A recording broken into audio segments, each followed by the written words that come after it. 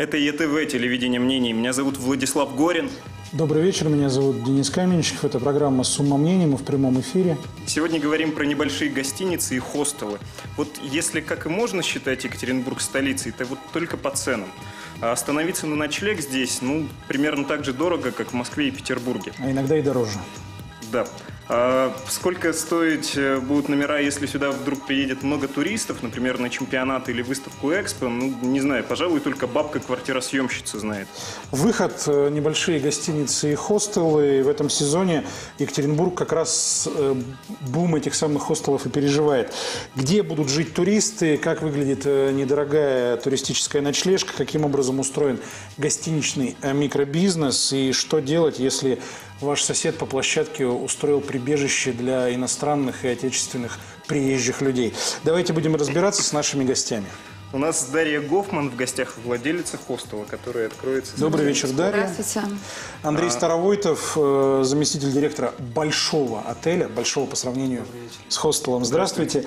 И э, Вадим Стройкин, э, владелец туристического агентства. Здравствуйте. И человек, который в хостелах жил и даже жил в хостеле в Чили. Добрый вечер. Вот такой у нас у нас тут дружеская атмосфера, располагайтесь как в хостеле, и давайте начнем.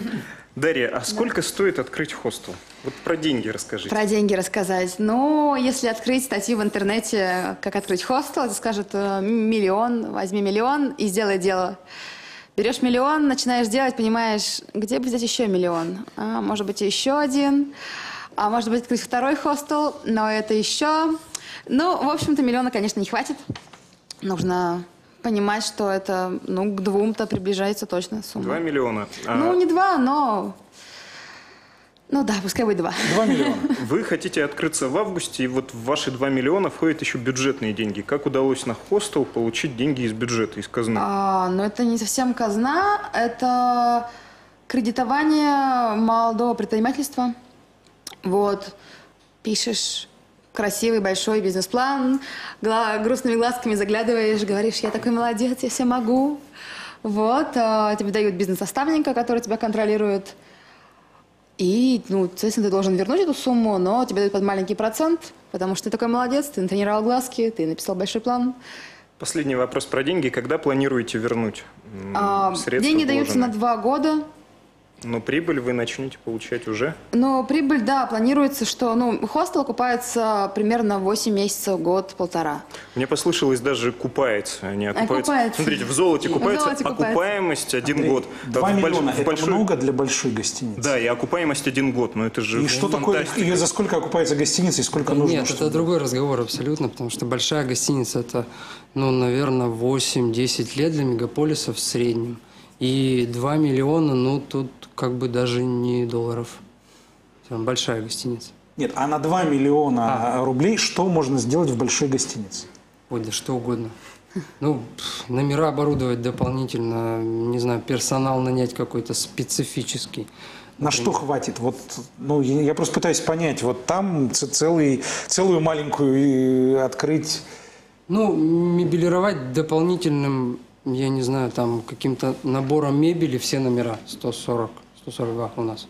Все, этого и все. А я пытаюсь понять, почему при такой окупаемости и таком небольшом э, входе на рынок, угу. да, при такой небольшой сумме входа, этим не занимаются массово люди, ну и тем более с деньгами. Вот почему большая гостиница не может открыть в Екатеринбурге тысячу хостелов, через э, год вернуть себе. Вы знаете, специфика бизнеса, она очень разная. Если большая гостиница, здесь нужно понимать, нельзя просто открыть и поедут, что гостиница, что хостел. Нужно понимать, как управлять бизнесом в высокий сезон, в низкий сезон. Если мы вдруг откроем сейчас, мы э, свои знания из большой гостиницы будем применять туда, это неправильно. А вот. что, в чем проблема? Нельзя на поток поставить? Ну, то есть, э, очень индивидуальный продукт, надо Там все по-другому, там реклама другая, там э, способы продаж другие. Но люди-то те же? Нет. Нет, а, абсолютно не те люди, потому что в обычной гостинице это в основном, ну вот у нас бизнесмены. Вадим, вы бизнесмен.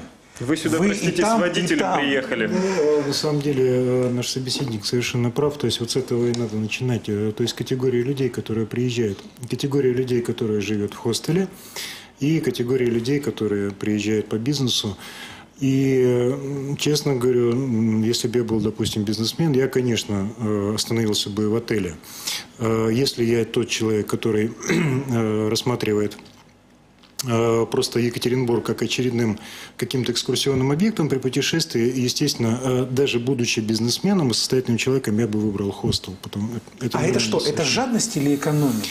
Э, Прецедент. Э, То есть я встречал э, не одну пару, путешествующую по миру, которая э, достаточно состоятельные люди. Э, То есть они при этом сдают э, где-то свою недвижимость, тоже, допустим, квартиру э, э, в том же, допустим, Лондоне, э, Копенгагене, и э, за эти деньги и частично за какие-то еще дополнительные они путешествуют по миру. Про свой опыт расскажите. Вы в Латинскую Америку поехали, человек не бедный, остановились в хостеле, в не самой, наверное, безопасной стране в мире. Можно картинки посмотреть, Зачем? режиссера попросим. Почему не в ну, гостинице? вот, э, собственно говоря, вот ситуация та же самая, потому что ну, несколько другого характера, потому что изначально э, Вот такой у м, нас улетая в. Южную, в Южную Америку, э, то есть мы, естественно, основные затраты, какие наши идут, затраты на авиаперелет. То есть это уже, извините, 50 тысяч э, минус. Естественно, если ты едешь в Южную Америку, ты э, хочешь э, посетить не одну страну, а несколько, как, собственно говоря, мы и сделали, потому что когда еще в какой-то веке туда, условно говоря, полетишь. Естественно, это вот Патагония, Чили, Перу. То есть, соответственно, уже э, при, э, допустим, путешествии, которое планируется, срок путешествия месяц, естественно, ты начинаешь считать деньги. Соответственно, То есть э, первая- экономия. Первая статья, которая, безусловно, это экономия. То есть, если, допустим, средний отель Сантьяго стоит где-то порядка 50-60 долларов человека, то э, те же апартаменты и тот же хостел в Сантьяго от 5 до 10 до 10 долларов. Даша, у вас сколько будет стоить ночь?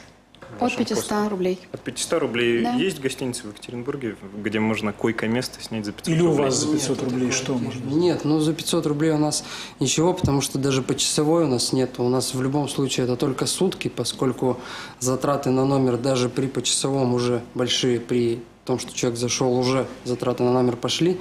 Поэтому почасовой нету, и за 500 рублей, ну, наверное, у нас это квартиры, которые называются хостелами.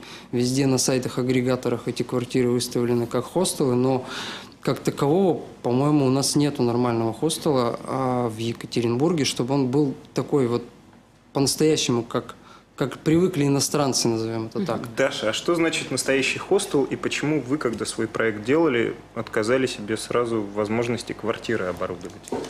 А, ну, а, я, я хотела привести примером строчку из Полоскова о том, что я много езжу и наедаюсь молчанием досыта. Ну, в хостеле можно пообщаться с новыми людьми. Ты всегда можешь кого-то интересного встретить. И наш хостел рассчитан именно на творческих людей.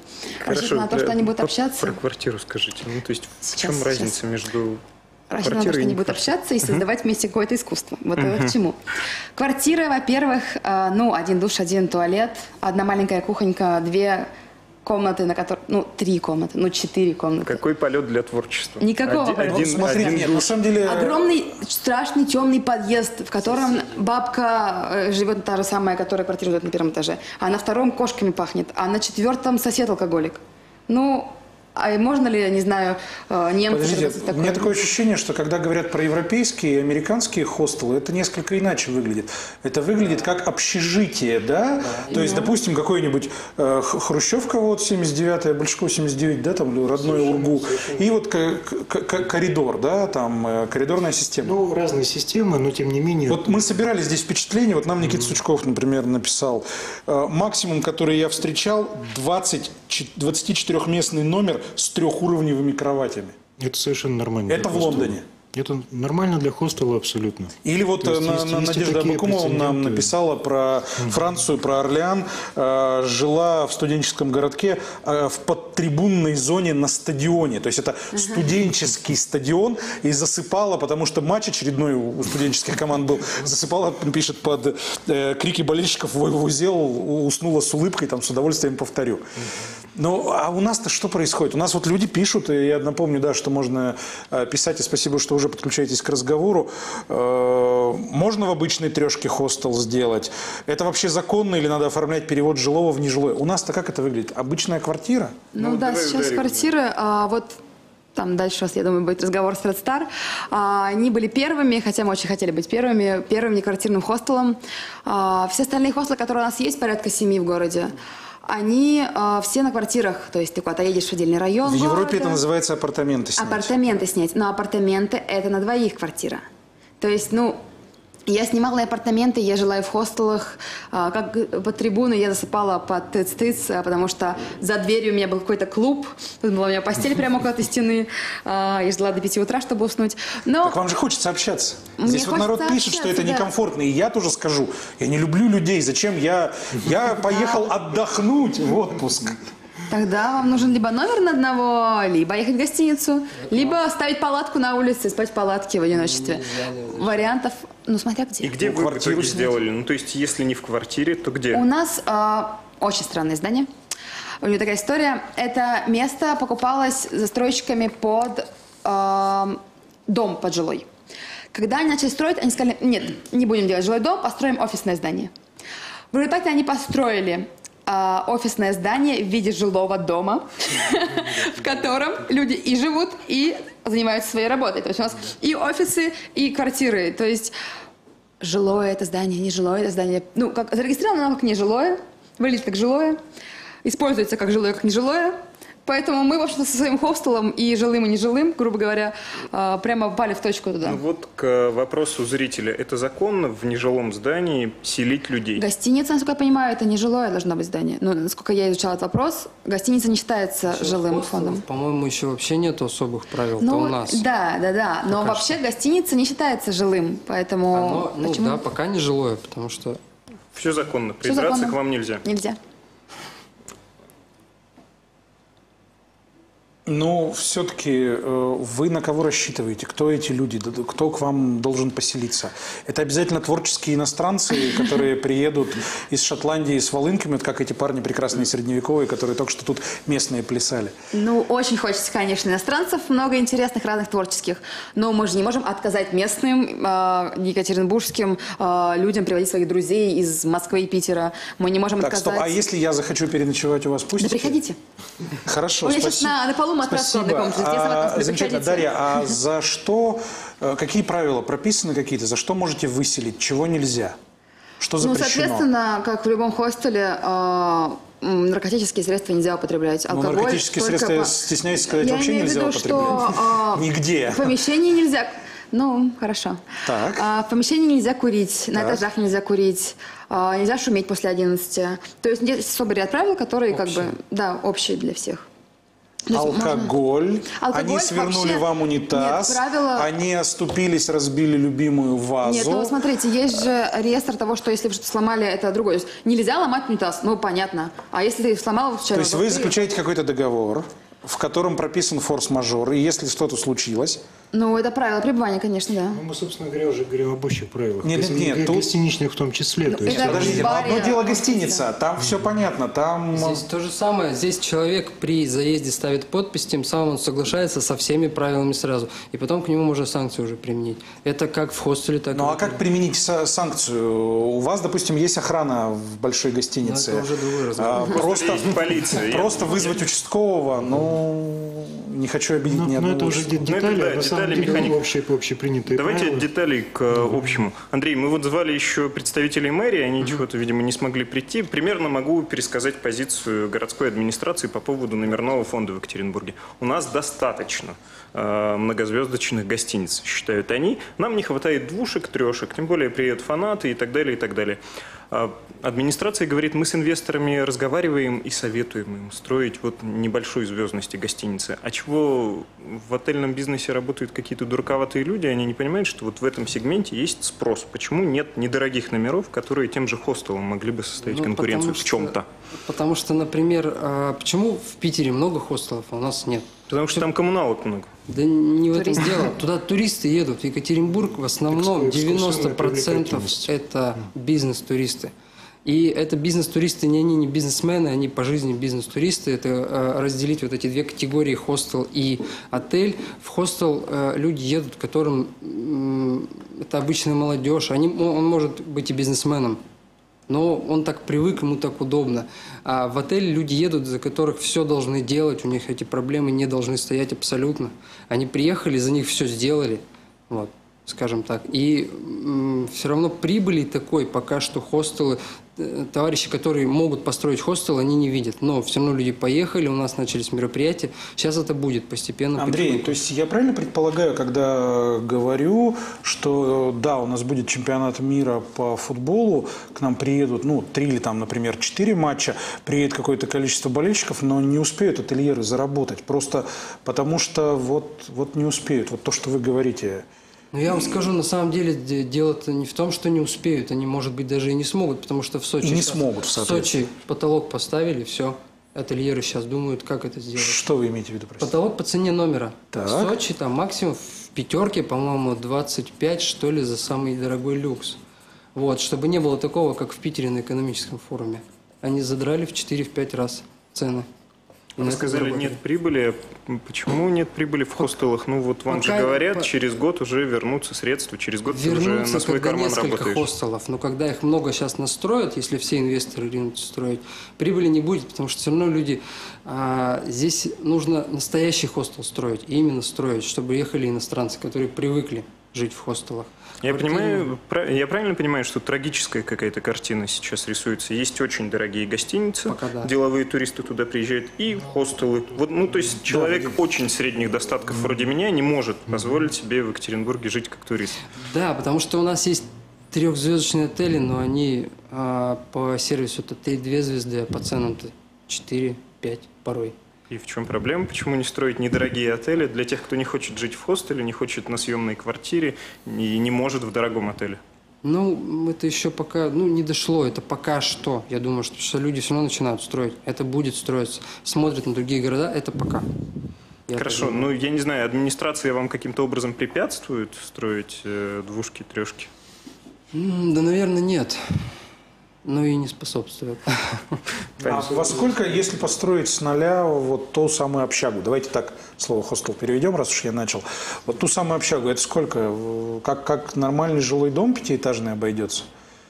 Да нет, поменьше. Там же просто все. На самом деле их смысла-то строить нету, их не надо Вы что строить. сказали, надо строить? Надо строить, я имею в виду организовывать. Надо где-то на первых этажах зданий, как в Питере все это делается. Полностью там снесли, сделали вот эти вот. Но не на седьмых этажах где-нибудь у нас там на юго-западе. Туда человек, в принципе, добраться не может физически с аэропорта. Вот. Вот такие надо строить. Не обязательно строить. Зачем инвестировать в здание, что с ним потом делать, куда? Ну вот, потому что хостел это э, по большому счету не заработок. Заработок это сеть хостелов. И хостел это хобби, это такой свой маленький бизнес. Хостел это Хорошо, хобби. у нас сейчас на связи есть представитель тоже очень странного бизнеса, который предлагает на небольшие по размеру э, э, номера. Владелец гостиницы слипбоксов, вот таких небольших ну, я не знаю, гробиков, что ли, в которых можно спать. Капсул. Да, Леонид, Фу, Леонид Черников, э, владелец... Леонид, добрый вечер. Да, отеля «Капсул». Отель находится на Белорусском вокзале в городе Москве. Леонид, а что, туристы-то у вас спят или только те, кто не успел уехать в Подмосковье из-за пробок и кому надо с утра опять на работу? Ну, спят очень многие. Э, в основном, знаете, как в Москву, если человек приезжает и понимает, что он ищет только место для ночлега, это идеальный вариант.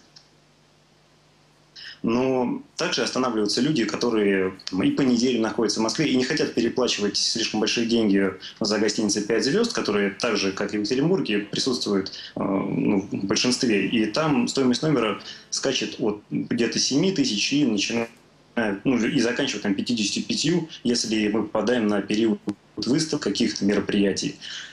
Поэтому нет при себе никакого макетика. Можете нам показать, как, как это выглядит? Ой, к сожалению, я сейчас сам нахожусь в одноместном слибоксе. А, и... ну так поверните, поверните камеру, поверните мы как раз и посмотрим. Отлично. И продолжайте говорить. Такая небольшая комната.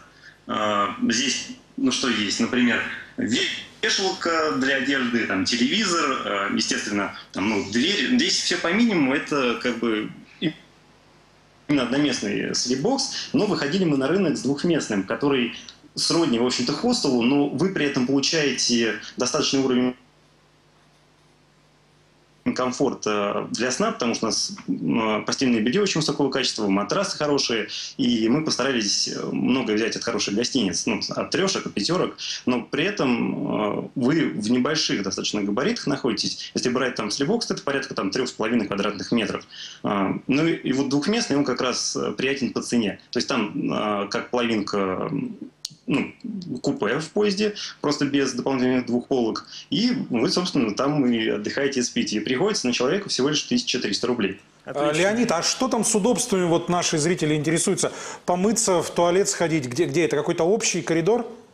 Да, это все находится в коридоре. Мы специально рассчитывали, что на 5 боксов приходится один санузел с душем душем и раковинами. Э, соответственно, вы заходите в свою маленькую такую кабинку, э, где делаете все дела, приводите себя в порядок, размеры полтора на полтора. И при нашем номерном фонде, а это 61 номер, то есть есть у нас и обычные номера, есть боксы, очередей не бывает. Ну, в номерах, естественно, там свои санузлы. Я именно говорю про слибоксы, и у нас их вот чисто таких капсул 51 штука. И на 51 штуку приходится всего лишь 16 санузлов.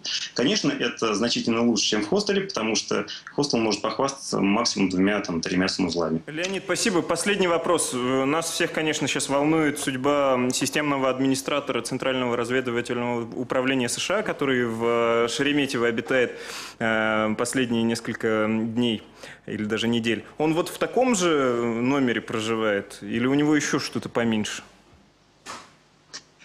Э, если говорить о Шереметьево, то это совершенно другой э, формат. Там обычные номера, они просто очень маленькие. Э, там гостиницы вообще только название. Если брать нас, то у нас есть готовое уже помещение, вернее, его отремонтировали и собрали фактически эти капсулы. Это отдельные комнаты, которые можно разобрать и перевести на другое место. В этом большой плюс э, такого бизнеса. Если вдруг он не пошел, можно зафиксировать э, свои убытки и перевести в другое место, которое, может быть, инвесторам покажется более интересным. Понятно. Спасибо большое, Леонид. Спасибо, Леонид. А, по поводу того, что есть э, в Шереметьево и по тому подобных историях, вот есть комментарий, мы собирали заранее, да, есть комментарий от человека, который, правда, оговорился, что весит 140 килограммов. Говорит, повторить этот опыт вряд ли решусь, поскольку площадь номера, включая санузел, превышала площадь кровати примерно на один квадратный метр. Так что при справлении нужды колени нависали из туалета над кроватью. Конец цитаты.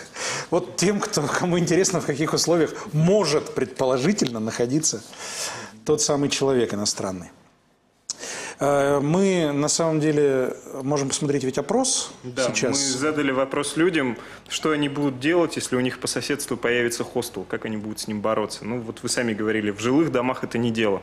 Давайте узнаем, чего народ думает, как собирается готовиться к буму хостелов в Екатеринбурге. Здравствуйте, я Настя, и мы, как обычно, собираем мнение горожан. Сегодня решили спросить у екатеринбуржцев, как они относятся к постоянной смене соседей, когда соседская квартира превращается в мини-гостиницу. Отрицательно, потому что, ну, как мы знаем, э, во-первых, ее используют для для различных дел, ну, назовем их так, да, характера такого, там, на одну ночь, на один вечер, соответственно, вечеринки какие-то, без, бесконечный ну, шум. Если нормальные люди нормально относятся, почему бы и нет, если тихо, спокойно. Бардак в подъезде,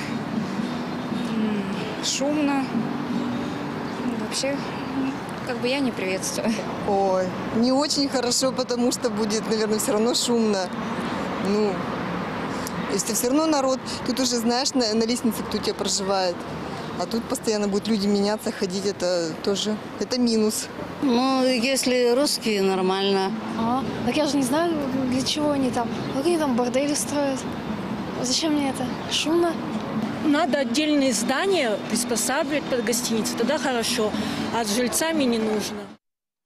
С жильцами не нужно. У нас новые гости. Ольга Королева, сотрудник Музея истории Екатеринбурга, получил впечатление о хостелах в Хорватии, Барселоне, Латвии, Литве, Эстонии. Здравствуйте, Ольга. Здравствуйте. А, Татьяна Стельмах, владелица хостела. Добрый вечер. Добрый вечер. И Никита Галкин, тоже, в общем, хостела-владелец. Здравствуйте, Никита. Добрый вечер.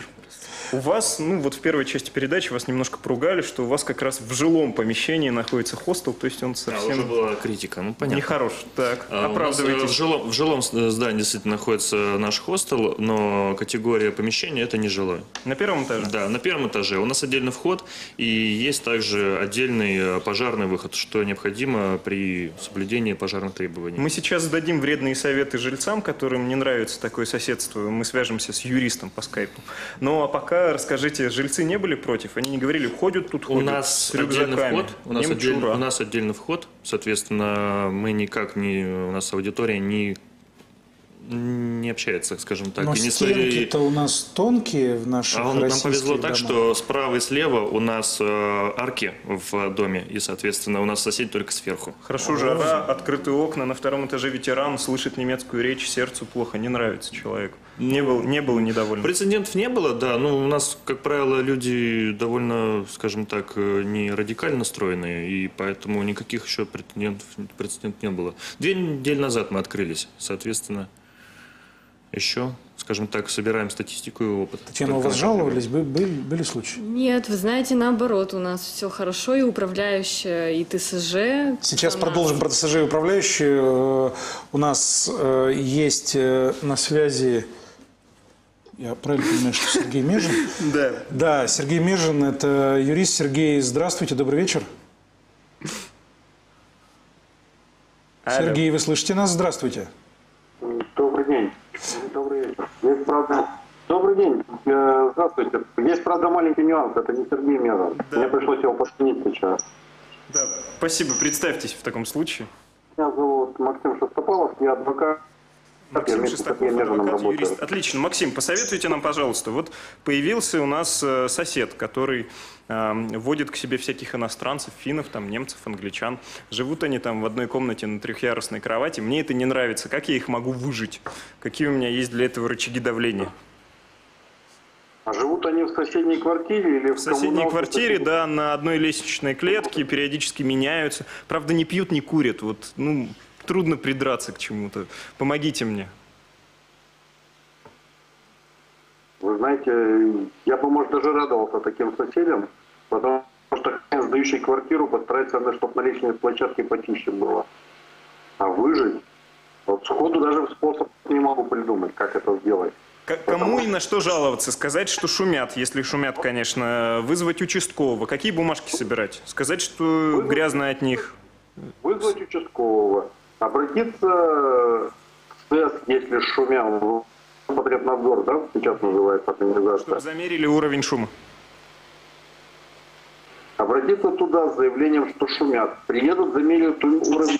Да. Если слишком высокий, там могут принять меры. Если нету шума, то не примут. Опять же, помню, что в соответствии с жилищным кодексом жилье должно быть использовано по назначению. То есть в нем должны проживать граждане. А если гражданин из этого извлекает прибыль, то это использование жилья уже не по назначению. Вопрос, насколько, как вы докажете в суде, что жилье используется не по назначению, это вам вредит, то есть какие ваши права нарушены. Это другой вопрос. Это доказать трудно. Вот у нас в студии Татьяна Стельмах, владелица хостела. собственник помещения и И извлекаете зарегистрировано прибыль. как ИП, сдача в аренду либо в найм, собственно, жилого имущества. Я плачу налоги, поэтому как ко мне можно придраться? Ну, только если они действительно будут шуметь Да, и ну, швыряться мы бутылками из окон. за этим как раз. Ну, то есть придраться можно только в том случае, если не платят налогов. Спасибо вам большое. Спасибо за консультацию.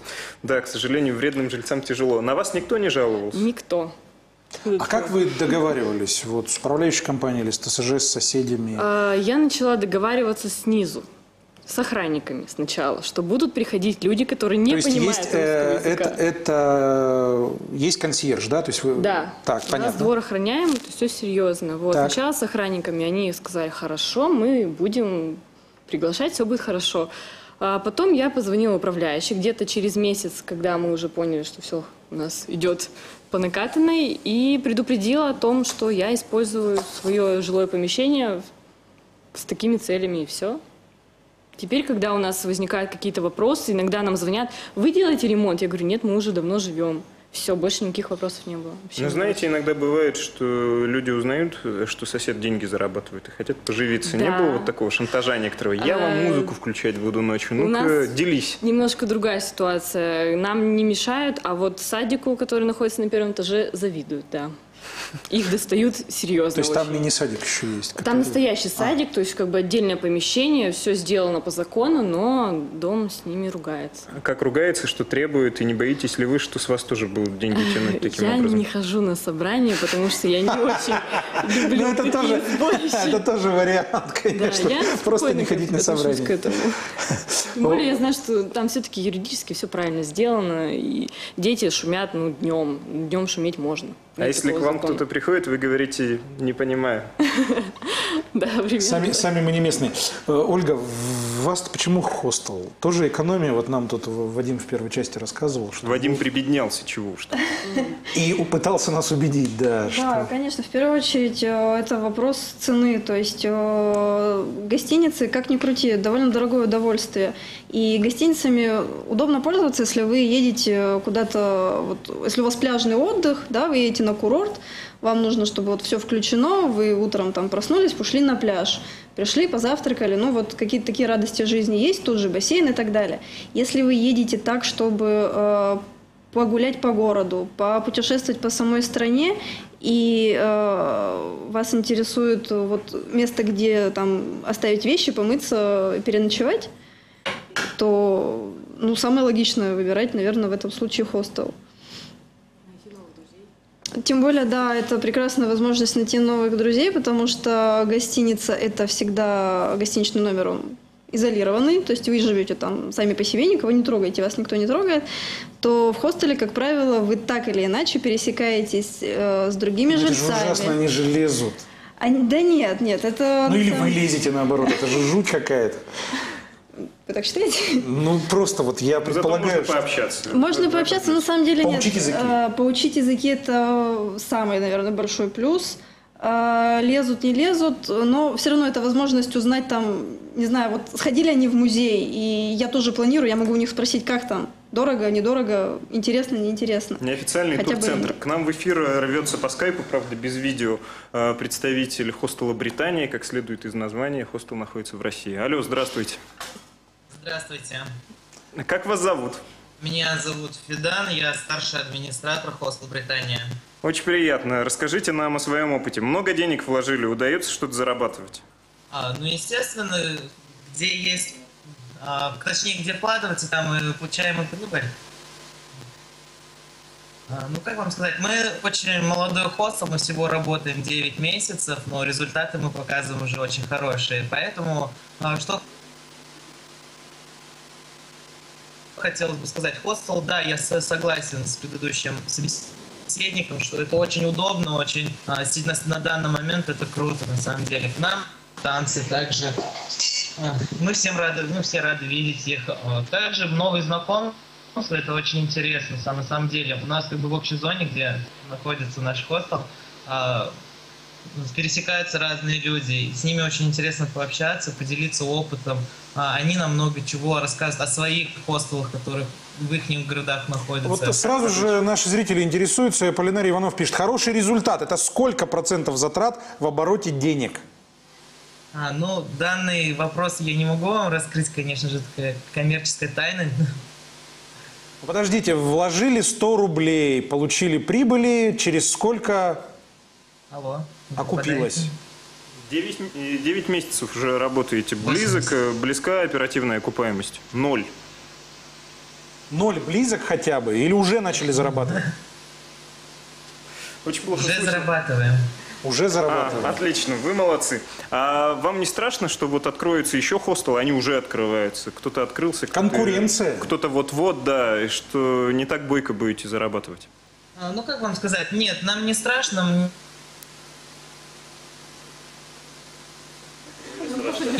Хорошо. с, э, Интернет, интернет в хостеле, поэтому с перебоями. Кто-то с Польшей, видимо, разговаривает еще по скайпу. Она, да, есть.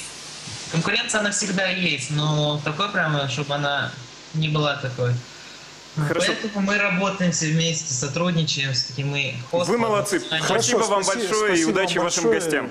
Вы не боитесь конкуренции? Ну вот вы уже работаете на рынке, тут Я еще Дарья приходила, считаю, открывает что у нас хостел. нет конкуренции, мы все общаемся, все дружим, друг другу гостей отправляем, потому что если у меня полностью забит, я звоню ребятам, говорю, примите, пожалуйста, гостей. А заполняемость обычно полная. а, 100%. волнами, я бы так сказала. То есть с чем связаны волны? А Я пока не знаю, еще пять месяцев. С чем связаны волны? За две недели работы я могу сказать, что связаны они с разными событиями. Вот матч, к примеру, будет с Спартаком. У нас сегодня приезж- приезжали болельщики. На ЦСКА приезжали? На ЦСКА, к сожалению, Ну, нет, это видимо, не доехали. волны. А иностранцы? А, иностранцы, иностранцы, да, тут никак, к сожалению, не, при, не предсказать, но вот по-русски могу сказать, что вот семинар, к примеру, вот у Амвея скоро будет. У нас э, в 100 метрах Амвей. И весь хостел у нас будет занят на неделю. Там сколько Будет приезжает. пахнуть. Мы такое Да, тоже Потом переживали уже. э, приезжают тоже на конференцию ребята из откуда, из, откуда из, по-моему, из Мегиона или э, с севера откуда-то. 100 человек. Вот э, мы не знали даже, где нам разместить остальных 50. Даже не 50, а 70, потому что 20 человек уже мы, соответственно, там уже записали на те даты. 30 человек могли только разместить. Вот, поэтому э, я А у скажу- вас-то сколько это стоит? у нас, у нас цена за место 350 рублей. А что за эти деньги? Сейчас. Вот человек из региона приехал. Э, э, Человеку предоставляется койко-место, э, человеку предоставляется доступ в общие санузлы, в, в- в общую кухню, в э, зону для работы, где он может спокойно поработать, либо почитать книгу. Он может посмотреть телевизор, он э, может полежать на Сколько это квадратных метров? У вот нас на одного человека. На одного, с учетом общих зон, ну, квадратов, наверное, 90. Когда рассчитываете получить деньги? Получить деньги? Да. По плану э, мы даже не по плану, а по желанию мы хотим уже деньги получить сейчас и прибыли зарабатывать. Но я думаю, где-то мы выйдем на самоокупаемость через месяц-два. Да, в принципе, это не Слушайте, так почему не верится? А у вас э, сколько и что? И почему еще такой большой разброс? У кого-то год, кто-то вот э, через 9 месяцев уже начал зарабатывать. Ну, это зависит от качества помещения, которое нашли. Мне вот пришлось сделать ремонт в черновой отделке, и я сделала очень красиво, я так считаю. Во всяком случае, когда ко мне гости приходят, первое, что они говорят, вау, у вас круто, у вас красиво, и мне очень приятно это слышать. И я считаю, что я не зря вложила деньги. Через три недели от начала наших действий, военных немножко, а, мы вышли на точку безубыточности. А дальше уже все Что за, э, сколько и что за эти деньги? за 600 рублей в шестиместной комнате, либо за 1700 двухместной получается тоже доступ к санузлам, ванной комнате, Wi-Fi обязательно, кухня, вкусняшки, потому что мы не зря называемся Ом-Ном-Ном. А, Бывают у нас экскурсии по э, Редлайну, которую вы все знаете, конечно. Потом, что еще? А, Заказ билетов, помощь в организации трансфера, особенно в оленьи ручьи. Ну, в общем, все, любые капризы за ваши Да. деньги. Ольга, э, что вы э, увидели в Прибалтике? Мы вот еще называли здесь э, Испанию, Хорватию. А, вообще, в принципе, мы когда выбираем э, место, где нам поселиться в том или ином городе той или иной страны, то есть первое, что, на что мы обращаем внимание, э, расположение, э, от этого пляшет стоимость, затем обязательно, чтобы был Wi-Fi, потому что доступ к интернету это практически самое важное. Э, И дальше мы уже смотрим вообще на... То есть мы доверяем, в принципе, фотографиям, которые размещают владельцы, смотрим на то, как оно все выглядит, и обязательно смотрим на отзывы. Это очень важно, тем более, что такие системы, как тот же самый Booking, он, в общем, эту систему отзывов предоставляет неплохую. оценить. Немножко подвиньте себе микрофон, да, по- поверните в свою сторону и скажите, вот вам какие-то еще дополнительные услуги, путешествия по каким-нибудь э, аналогам нашей красной линии, помощь в трансфере, это все важно, когда вы выбираете себе А, хостел? Помощь в трансфере, экскурсии и так далее мне не столь важны, потому что все равно, э, как правило, мы стараемся самостоятельно выбрать э, свой маршрут. Но что очень важно, вот а, что мы оценили в хостелах во всех странах, в которых побывали, и чего нет в России, тем более нет в Екатеринбурге, это элементарный вот такой вот отрывной м, бесплатной карты города или хотя бы центральной части города, где вот нарисовано, что вот здесь Татищев с Гениным стоят, здесь администрация города. То есть э, вот это практически первый вопрос, который мы задаем администратору карта Нате. Причем администратор, если он классный, они, как правило, классные, он нам тут же ручкой рисует, что вот здесь мы, вот здесь главный памятник, вот здесь дешево поесть. И э, это, наверное, одна из самых важных вещей. Что плохо? Что не нравится категорически? Или не понравилось где-то, где-либо? Только не рассказывайте, что все было хорошо, не поверю нет, за что. Нет, нет, ни в коем случае. Нет, я не могу сказать, что есть какие-то вещи, что вот, ну, прям все плохо. Э, Нет, наверное, такого не было. Хотя был один хостел, он, правда, в России, он в Петербурге, он был ужасен. Чем? Чем? А, Он был ужасен своими постояльцами. Во-первых, это эм, дальняя точка мира, чтобы не выражаться, скажу. Э, Это метро э, «Обводный канал». То есть одна из новых линий, довольно далеко от метро, там минут 15-20 пешком, а мы ездили зимой. То есть это, а, это было отдельное здание, в нем было два этажа. Минус был очень большой, э, двухэтажные кровати с панцирной сеткой, э, которая осталась у меня на теле, мне кажется, до сих пор. Потому что матрас при панцирной сетке вот такой толщины. А, И ужасно было то, что в этот хостел заехали, заехала группа детей несовершеннолетних откуда-то там из Белгорода. И эти дети, а это не просто дети, это подростки. Подростки это, наверное, самая ужасная категория Людей. людей. Э, И они просто вели себя совершенно ужасно, и администрация хостела ничего не могла с ними сделать. Дешево было зато. Зато было дешево, я не И поспорю. вам урок. Сколько? Я боюсь соврать, но там чего-то около э, 700 рублей. Почему выбрали именно его? Ведь в Петербурге выбор хостелов...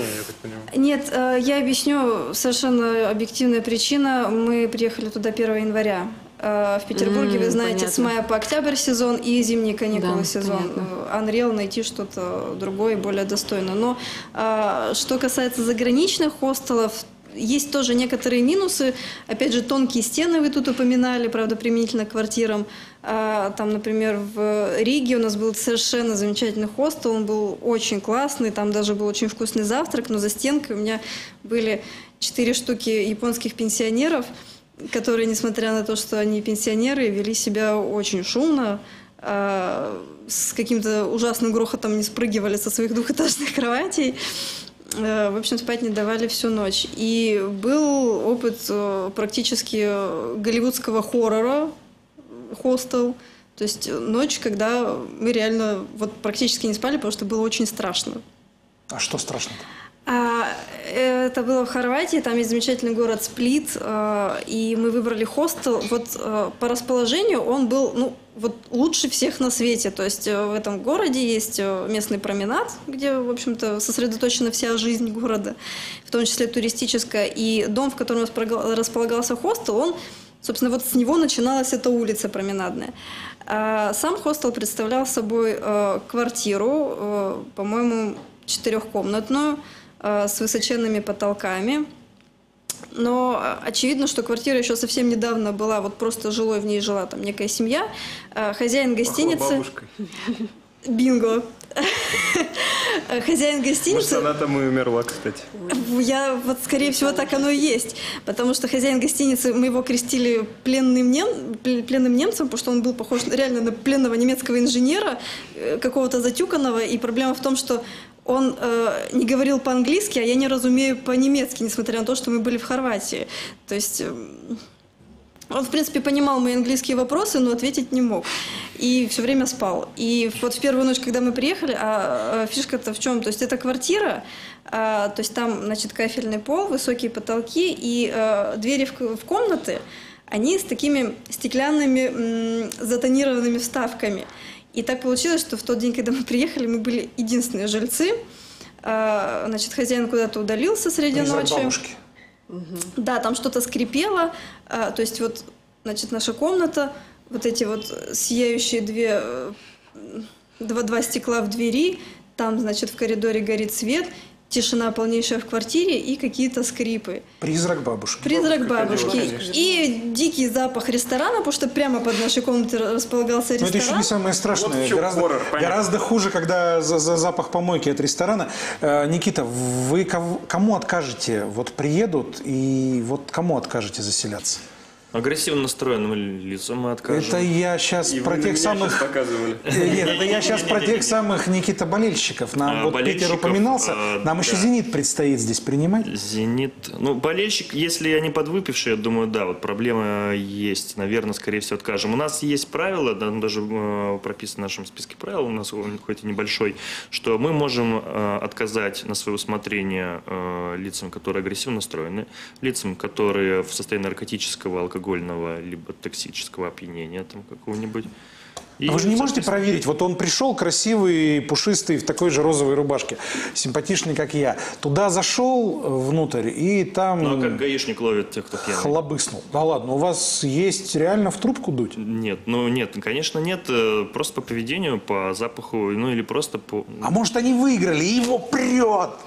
Не, ну если- Без, без, как ну, там? все индивидуально, все индивидуально, индивидуально. Думаю, договориться можно, конечно. Если там выпил немножко пи- пива, это небольшой, небольшая проблема. А если приехала группа лысых э, ребят э, с э, арматурой и ну, немножко под шофе, ну тут, думаю, нужно будет, наверное, отказать. Татьяна, вы открыли хостел, потому что сами любите путешествовать, а это О, да. такой прекрасный способ к себе гостей приводить, говорить на их языке, узнавать истории, нравы, не ездить самой. А чего ж вы тогда не живете в хостеле? Ну вот в китайских хостелах это обычное дело, семейный бизнес, семья, тут же гости. Я практически живу там сейчас, но из-за того, что вот, например, через два месяца я собираюсь поехать в Испанию, в Португалию, соответственно, я не могу жить там. Мне приходится сейчас искать людей, которые будут работать там. К сожалению, это очень тяжело. Запросы у молодежи большие, умений мало. Ну, сами знаете, как это бывает. Ну и по-английски, да, у нас тоже есть проблема. Мало кто говорит хорошо. Что требуется, кроме того, что дать карту, быть э, добродушным, ну и, наверное, крепким, чтобы разобраться с э, пьяным болельщиком? Какие еще качества должны быть у работника хостела? Аккуратность, прежде всего надежность, потому что просьбы бывают разные, не дай бог кто-нибудь что-нибудь забудет. И честность. Да, честность прежде всего. Ну и умение считать, я так понимаю, потому что деньги тоже здесь. Ну, это не самое лучшее умение. Еще нужно быть гостеприимным и все-таки любить свою страну, потому что некоторые ребята спрашивают, почему иностранцы к нам едут, и говорят, у нас же нечего смотреть. Вот не дай бог попадется такой администратор, который скажет, ну, у нас нечего смотреть. Езжайте обратно. Да, езжайте обратно. Не тратьте свои деньги здесь, не приезжайте в наш замечательный город. А, Нина Маринина у вас интересуется, Wi-Fi бесплатно даете и стиральную машину? Да. Ну, Ну, в смысле, это входит. Wi- Wi-Fi бесплатный. По стиральной машине э, мы порошок продаем э, за деньги. А так, э, у нас э, огромный перечень. То есть я могу купить в магазине, Да. со своим порошком прийти и у вас не покупать? да. Теоретически, А да. Да, а э, ну, придется идти в магазин, брать этот порошок и тащить. Но все равно гуляем, мы же не на пляж приехали. Вот Ольга наверняка видела кучу супермаркетов, Ну. пока шлялась по променаду Я, Спли- кстати, пользовалась Сплита. услугами стиральной машины в хостеле, и это было, это было замечательно. То есть это был, конечно, уже конец отпуска, но тем не менее я домой приехала, у меня полный чемодан чистых вещей. Мне не нужно все перестирывать неделю. Да, также мы бесплатно предоставляем утюг. У нас, э, что касается платных э, всяких э, мелочевки, то огромный у нас список есть э, всяких полезностей, это, которые можно купить у администратора. Это расчески, это бритвенные принадлежности. Ну понятно, это, а сами в э, хостеле где-нибудь э, жевали в каких-нибудь странах? Конечно. Или городах? Я в, в Москве э, жил в нескольких хостелах, мне этого хватило.